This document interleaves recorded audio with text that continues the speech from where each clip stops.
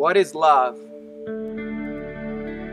There are many, oh, many, oh, so many songs about love.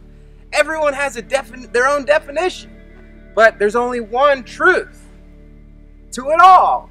And we believe love is what Jesus exemplified on the cross. He didn't commit one sin. He didn't do nothing wrong. He loved him neighbor, his neighbor as himself. He was the example of what true love is self sacrificing. If you love your family, you sacrifice for your family. If you love your wife, your spouse, your husband, your kids, your friend, you sacrifice yourself and you put people first. That is what true love is. Love isn't just what you say, it's what you do. That's what counts. Because all said and done, that's who you are.